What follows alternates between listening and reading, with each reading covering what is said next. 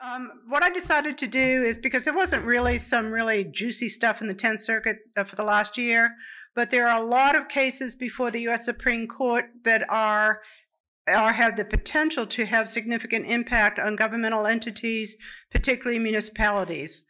The, uh, there was a case that we were all kind of excited about that was going to hopefully define the scope of the attorney-client privilege uh, which had not been defined for a lot of times. And the court took, granted certiorari. They actually then had oral arguments. And then they decided they didn't want to decide it, so they ruled that it was improvidently granted. And that's the In re grand jury case. Um, right now, there are 43 cases before the U.S. Supreme Court that have been fully briefed and orally argued, and no decisions have been issued. During the current term, only 10 cases have been decided today. So obviously, we have a lot of things to do. I've broken it down into the um, amendments of, this, of the Constitution that I thought were most relevant. So the first are the First Amendment cases.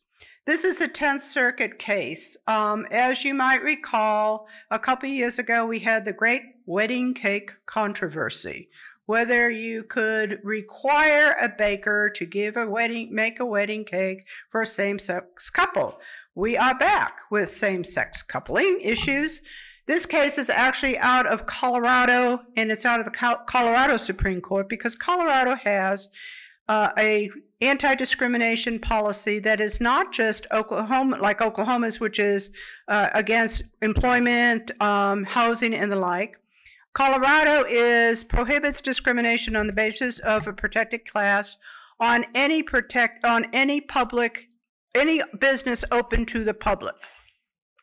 Now, uh, 303 Creative is owned by a woman, and she does um, basically web drawings and whatnot for social events. So she's basically a PR person who does your website, your graphic designs, and all of that. And she decided that weddings would be a lucrative business. So she wanted to add that to her web program. But she also was adamantly opposed to same sex marriage, and she thought it was only fair to tell everybody that don't call me if you want me to plan your same sex marriage. And so that's what she put on her website, and Colorado sued her and said, You can't do that, that violates our statute. And so the court took cert, as they did in the wedding cake controversy, but it's kind of interesting how they framed the question. They framed the question as Does the statute compel artists? So that kind of freaked me out. Does it compel artists to either speak or stay silent? And if so, does that violate the First Amendment? I assume artist meant that she was a graphic designer, and so her website involved graphic design. So, um, I'm sort of like I, I mean, I've seen wedding cakes that were works of art, but here it's clearly they framed it in terms of art. So we are now in the realm of in the internet world, and there are two other internet cases we're going to talk about.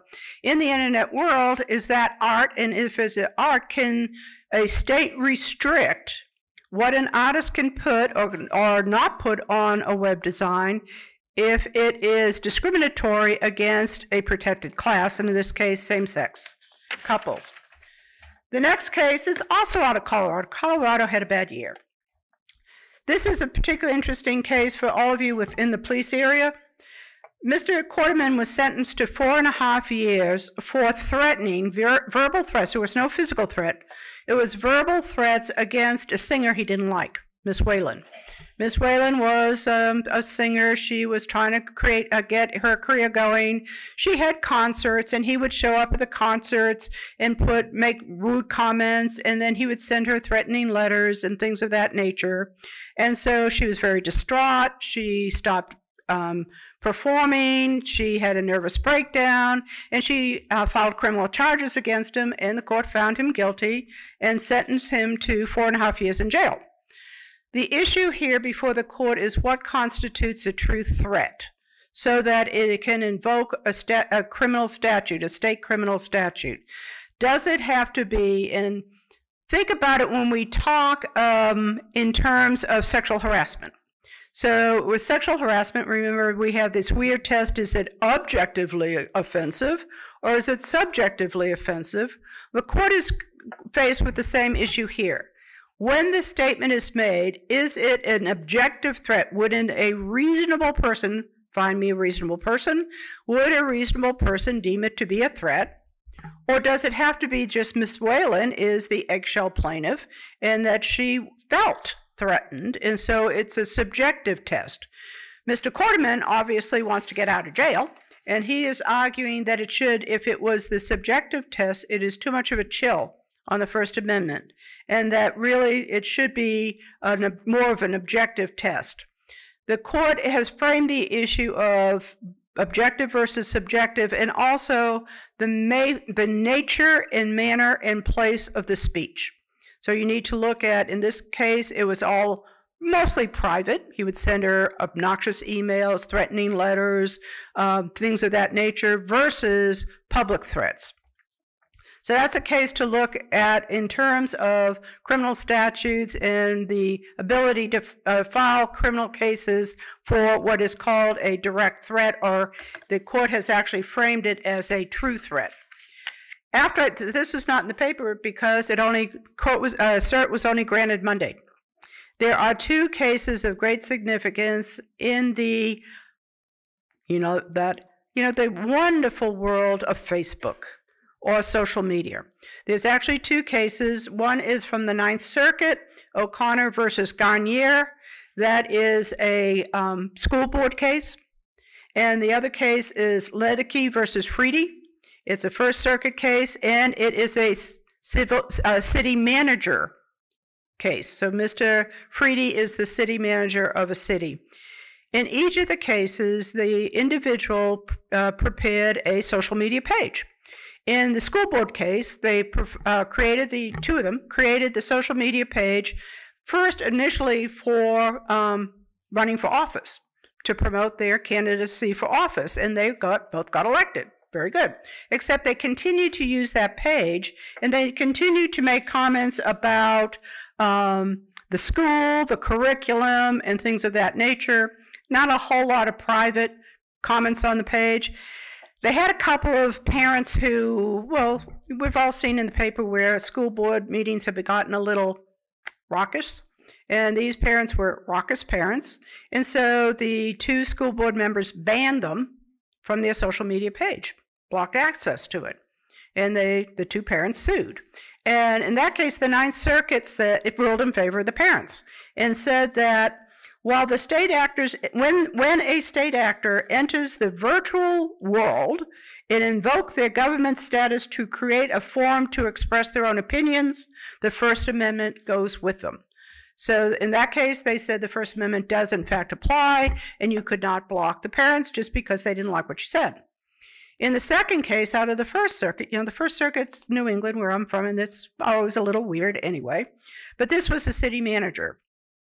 And the city manager also had his own Facebook account, own social media, where he did about about half of it was personal.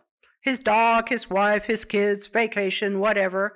But he also had some descriptions about the city's coronavirus response and things of that nature. And a couple of the citizens obviously wanted to respond that they didn't like having to wear masks and they didn't think that they had to not go to the bars and they shouldn't have to go to the restaurant. And he blocked them.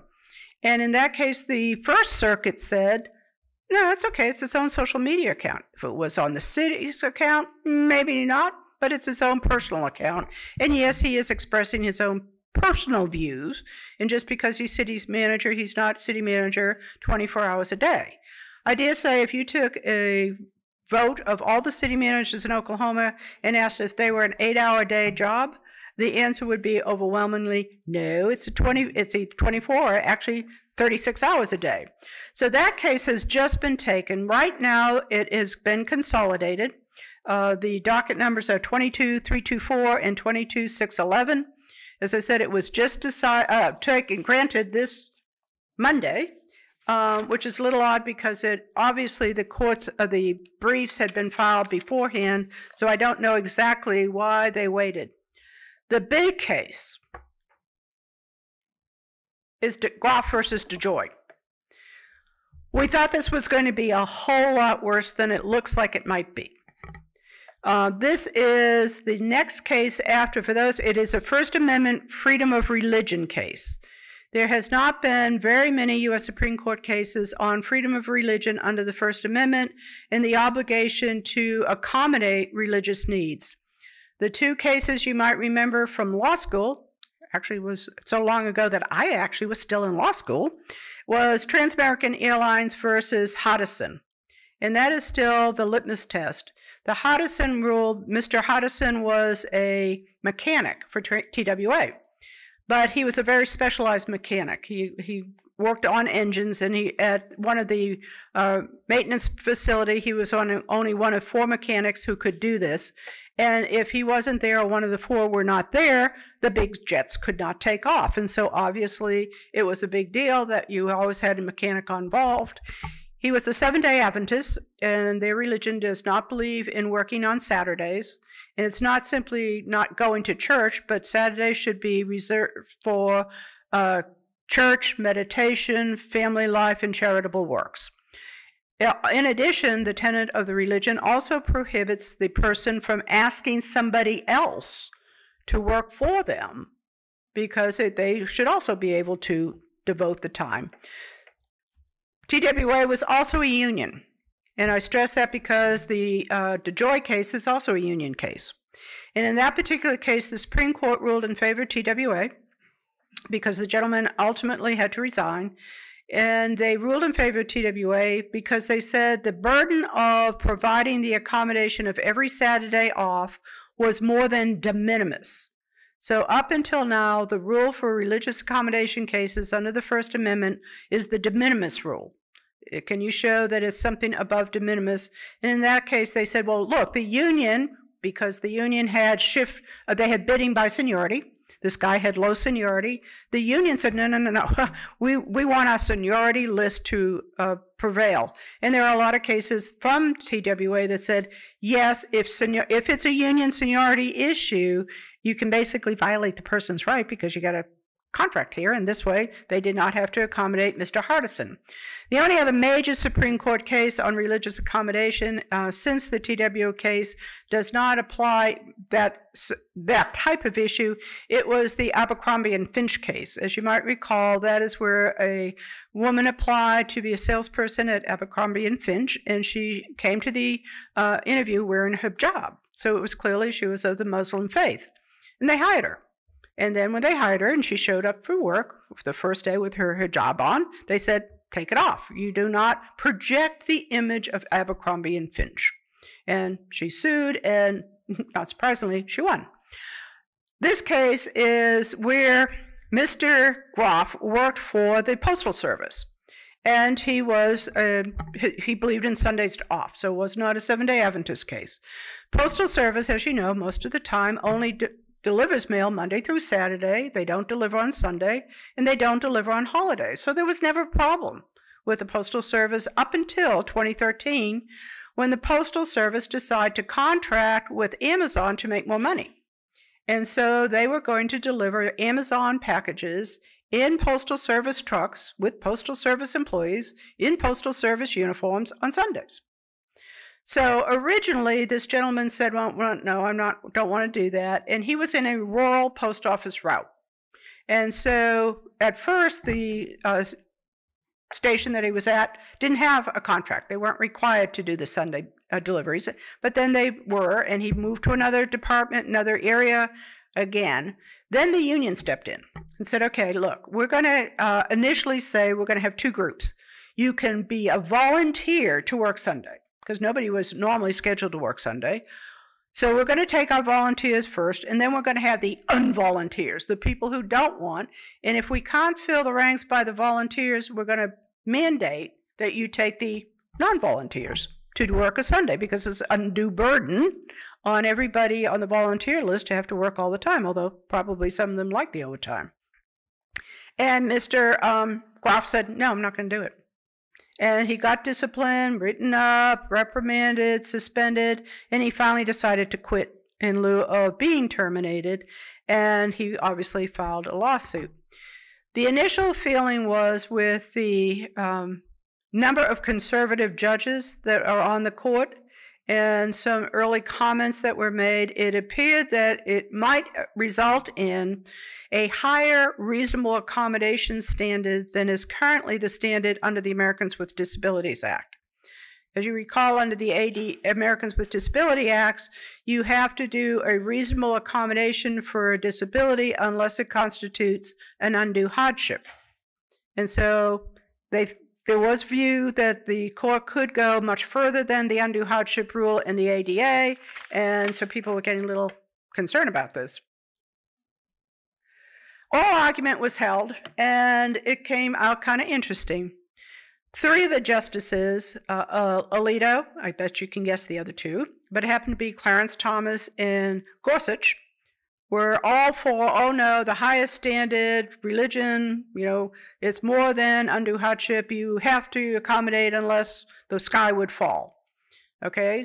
Then, rather surprisingly, um, Coney Barrett and see, who else was it? Said, no, no, no, no, maybe it is, um, oh, yeah, Kavanaugh and Barrett. That oral argument said, no, wait a minute. You know, there are other reasons, but, but we're not going to just destroy businesses because somebody wants to pray on Sunday, and it's more than just praying, they want the whole day off. And of course, Kagan said, whatever. The Solicitor General of the United States, and Mr. DeJoy, as you might recall, is this Postmaster General who was uh, appointed by President Trump, got a whole lot of bad press during the elections, but he's, you know, he always gets sued because he's Postmaster General. Um, but even the uh, Solicitor General said the de minimis rule really is not functional. We will agree it's it's a goofy rule. We're going to have to do something, and so the question is where it's going to fall. I don't know where it's going to fall, but if reading the transcripts of the oral argument, it looks like it might be someplace in the undue hardship rule like the ADA, but maybe not even higher. What Kavanaugh and Coney Barrett want, suggested to be done is send it back to the court, to the lower court, and this is a Third Circuit opinion, and have the court say, look at the facts. In, those, in this case, there was real hardship to this rural postal department. They had people quit, they had people transferred, and they had people filing grievances under the collective bargaining agreement that making them fill in for Mr. Groff was a violation of the CBA. And their opinion is, you know, it probably should have been ruled in favor of the Postal Service, but even not on the de minimis rule, but on an undue hardship rule. So I think that is probably where it's going to go. As I said, originally we thought it was going to be just a nightmare, but it looks like it's only going to be a little bit of a nightmare. But clearly, what is overwhelming is that the de minimis rule is going to fall. And that's the rule that's been in place since 1976. Tyler versus Hennepin County. Remember the case Bad Facts Make Law? Mrs. Tyler's 94 years old and a widow. And she lives in a condominium. And she ran out of money because she lived too long. And so she ran up a $15,000 tax bill to Hennepin County. And she, there was also some other assessment fees. And so the county, cruel, unusual people that they are, they foreclosed on her. And so they then turned around and sold her condominium. They sold it for $45,000, which was $25,000 more than she owed on the debt. And they kept it. And so she, she brought a, a lawsuit saying, well, wait a minute, isn't this a taking of my property without due process? But also, another interesting thing is is this a violation of the Eighth Amendment? Excessive fines and punishment. So, I, you know, if I were a betting person, I would bet that Hennepin County is going to lose. Think about what Thomas LeBlanc just said at the, his very last talk about arresting people on warrants simply because they cannot pay. I think this is a case where, yes, she couldn't pay, and yes, she owed the taxes, and yes, you could foreclose on the property, but you don't get to keep the widow's money. So, again, not a good case on the facts. The Attorney General of Alabama had a difficult year also. This is Culley versus Attorney General and Sutton versus the Attorney General of Alabama. One is, it's a um, two cases almost identical. One, if anybody has ever, is Matthew still here? I can, if he's not, I can make fun of him now. Has anybody ever raised boys? You know, when they're about 14 to 19, someplace their brain goes away, and then all of a sudden they come back. And we've got two of these teenage boy uh, brain dead cases. Um, so Mr. Culley's son, God love him, took daddy's car without permission, and he went joyriding with his buddies, and he gets stopped by the police, and guess what they found? Marijuana and paraphernalia. So the kid gets arrested, and what happens? They impound the car. But they kept the car for two years. And so during this two year period, Mr. Culley didn't have a car to go to work. And so he had to either buy a new car or he had to rely upon bus service or the kindness of strangers or whatever. And so his issue is well, wait a minute, I'm an innocent person. I did not commit the crime. My brain dead kid did. And so, why should you be able to keep my car for two years? And isn't this a violation of the 14th Amendment? So, in the Sutton case, the facts are almost the same, except it was Miss Sutton's now ex best friend uh, who took her car. And the guy goes off joyriding also, and he gets stopped by the police and gets what they found. They found methamphetamine. And so they arrested the guy and they threw him in jail. Nobody, and I can guarantee you she did not come down and throw his bail. And they confiscated her car. And they kept that car for 20 months. So we had two cases where we had the innocent owner defense on when they try to come and get their car back. And so the, what the, is before the court, and I think it, it is has the potential for a lot of implication because a lot of departments confiscate vehicles or other things in the commission of a crime, is this is to reserve uh, to uh, resolve conflicts among the circuits about civil asset forfeitures. Now, the Tenth Circuit is more in line with probably what the Tenth Circuit is, uh, what the Supreme Court's going to hold, um, but it is worth wa uh, watching because I think they will set clear guidelines on the innocent owner defense and when you have to have a hearing, not two years later, for people to get the property back that is truly an innocent taker. Race discrimination. Um, probably you've all seen this in the papers. These uh, students for fair admission, they brought two separate lawsuits, one against Harvard University and once against the University of North Carolina. Uh, Harvard obviously is in the First Circuit. And this is to determine whether the court is uh, going to overrule or otherwise modified Grutter versus Bollinger. That was the old California case that was decided in 2003. It appears pretty clear there is going to be changes to that case, the, the Bollinger case. It was interesting because originally those cases were also combined. Uh, so the students for fair admission, the Harvard and the North Carolina cases were combined. They have now been split by the court. The only reason I could figure out is the Harvard case is brought under Title VII of the Civil Rights Act of 1964. The North Carolina case is brought under the 14th Amendment.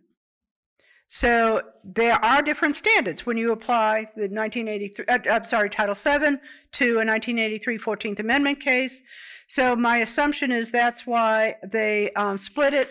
But the fundamental issue is, um, are they going to modify Bollinger? And my assumption is yes.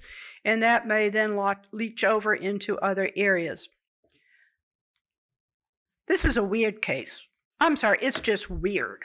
And I don't know why they took the court case. I don't know why and, um, the woman is. Uh, Mrs. Lau- Lau- Laufer, Mrs. Laufer is disabled. There's no question she is disabled.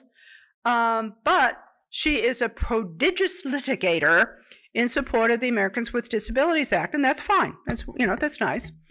But she sued Acheson Hotels.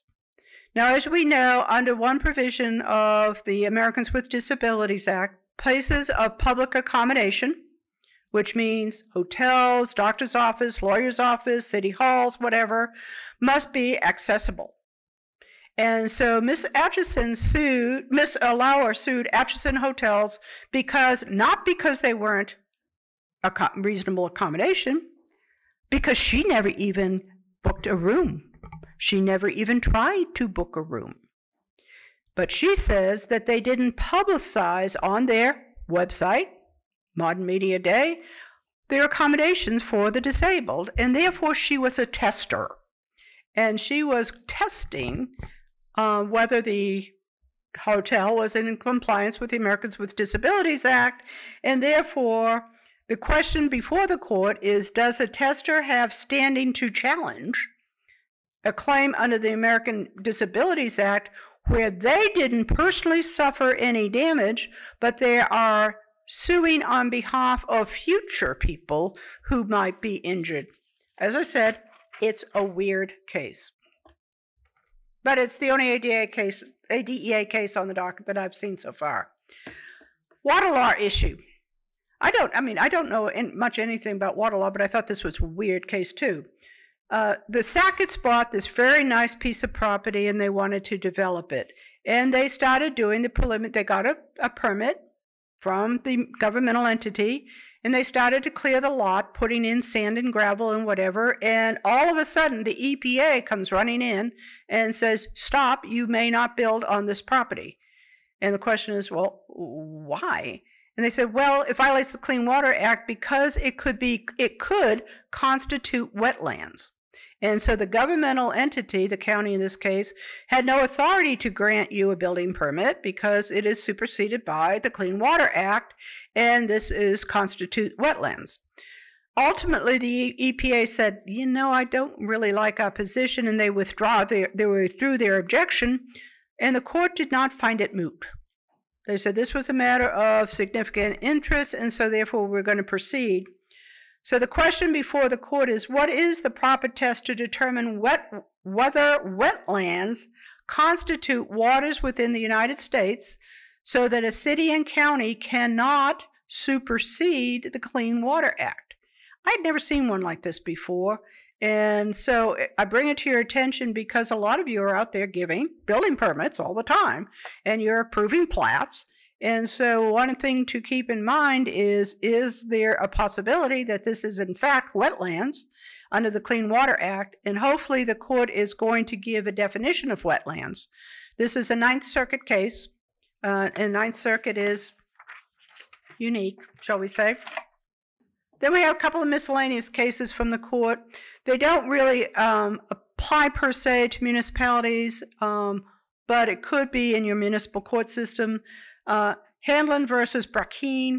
This is a challenge under the Indian Child Welfare Act. You've probably seen a lot of publicity in Oklahoma about this. Uh, this case is actually, though, out of the First Circuit because where I grew up, there are uh, recognized indigenous tribes. They're nowhere near as aggressive, shall we say, or vocal uh, on their rights as they are here. And most of them are in the New England states. But in this case, it was an issue of um, what portions of the Indian Child Welfare Act will be allowed to stand. And it was brought by individuals, both parents, uh, uh couples who had a long term foster child that they wanted to adopt. It was by uh, parents who wanted to adopt a child that was in the foster system but was uh, fell within the Indian uh, Child Welfare Act and what should be the scope and is it discriminatory against individuals who are not tribal members. You might have read in the paper 2 days ago the Oklahoma Supreme Court had a ruling 5 to 4 and it held in that case it did it, it, determined that the interest of the child who was in foster care with a parents with a couple superseded the rights of the biological mother. And they then terminated the biological mother's rights and allowed the child to go for adoption to the foster parents who did want to adopt the child. Um, there was lots of evidence that the child was doing extremely well with the foster parents, whereas thriving was their psychological welfare was better. But it is an interesting to look at that five to four decision and I always like to see, as I say, sometimes with the U.S. Supreme Court, it looks like every now and then somebody went into the wrong bathroom because you get these wild opinions where all of a sudden, what do you mean you're dissenting? You're supposed to be over with these people. Same thing with this case. There were four people appointed, no, three appointed by uh, Governor Stitt. Uh, there was Jim Winchester, who I've known, used to be a city attorney himself. And I was like, Jim, you're, you know, you're usually over here. And so it's a five to four decision. It just came out. Glacier versus Northwest, um, it is the International Brotherhood of Teamsters, God love their souls. Although this is a private sector case, I think it could have input in Oklahoma in um, municipal collective bargaining. In this case, uh, Glacier Northwest was a concrete manufacturer, and it made concrete for big high-rise apartments. I mean, big, you know, concrete that was really expensive when the Teamsters went on strike, somehow a lot of the concrete got damaged. And so the Glacier um, Northwest sued and said, yes, you could go on strike, but you can't destroy my property. So the question here is, and um, under the National Labor Relations Act, it, can a company sued for damages incurred, monetary damages incurred, in the midst of a legitimate strike?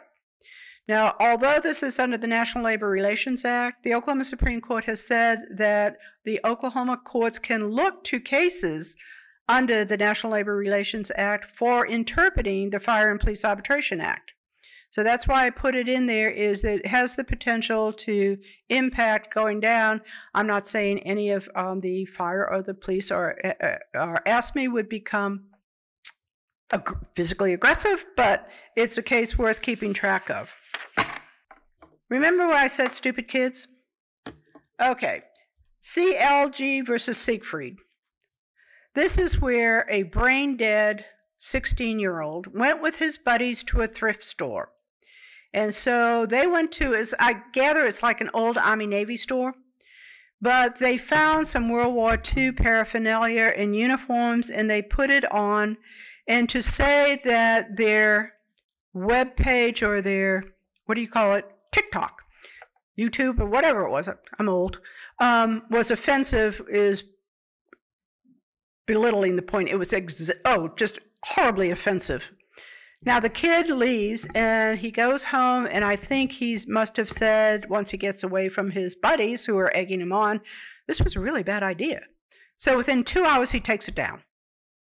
However, as we know, it lives in infamy.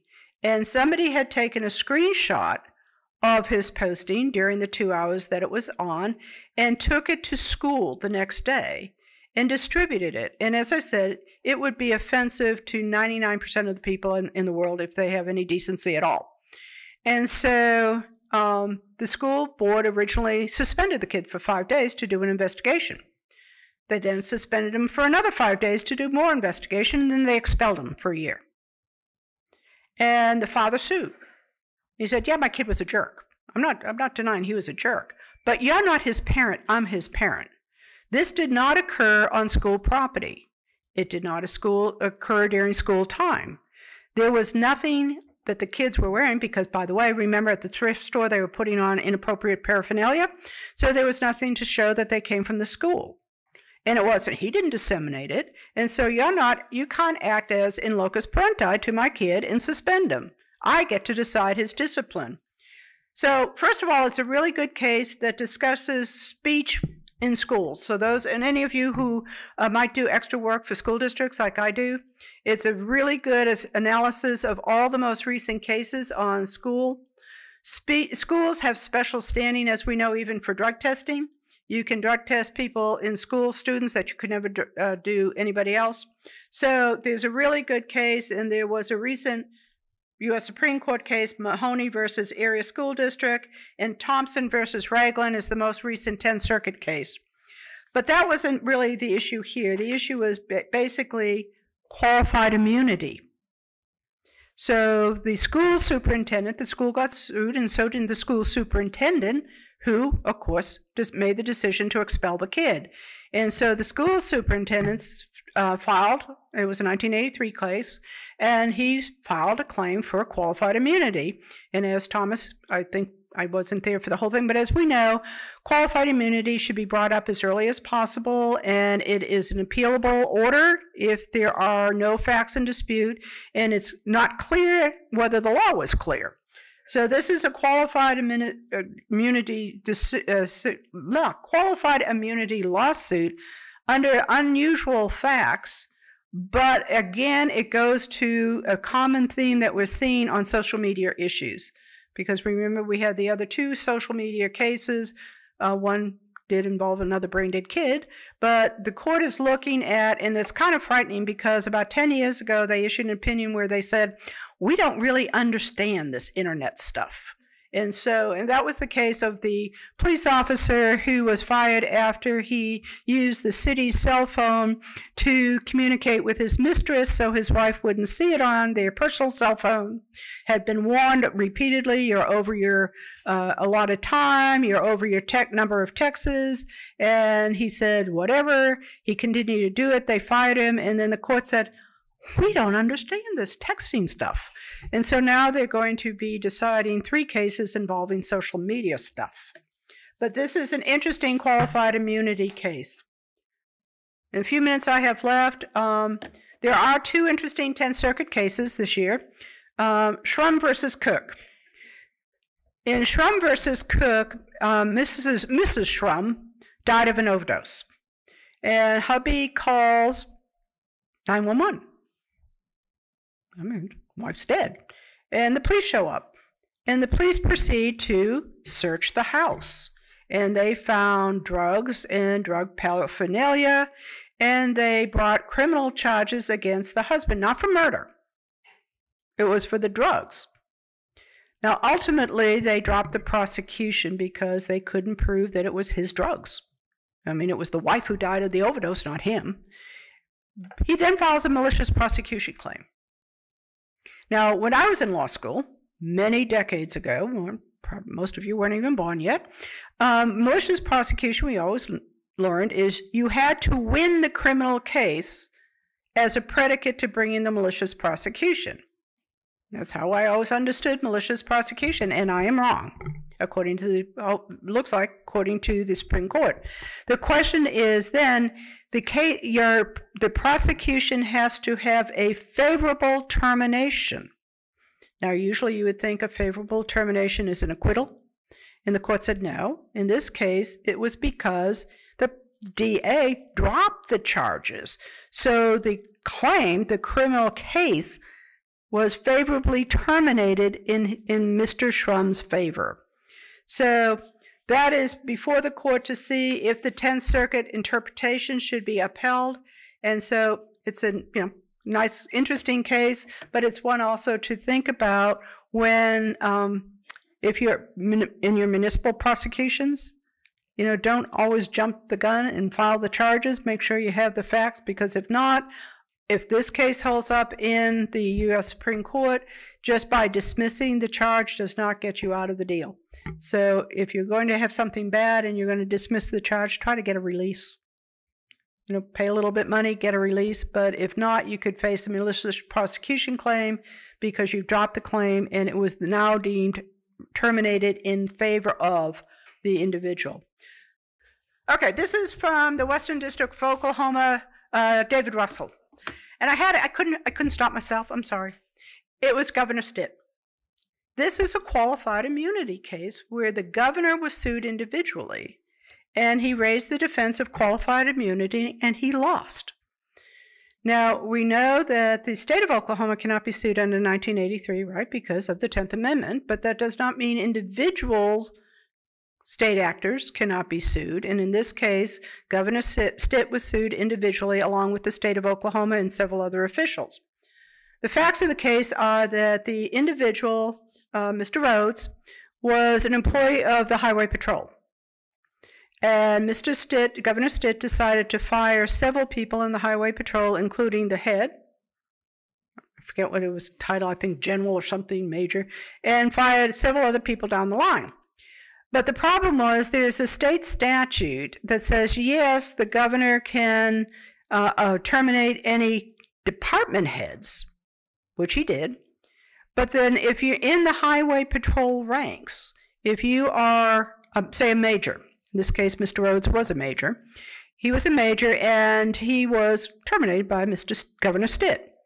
But you see, Governor Stitt did not read the statute because the statute provided that if you were the major, if you were going to be removed as a major, you had a right to seek a lower rank position and you were entitled to a due process hearing.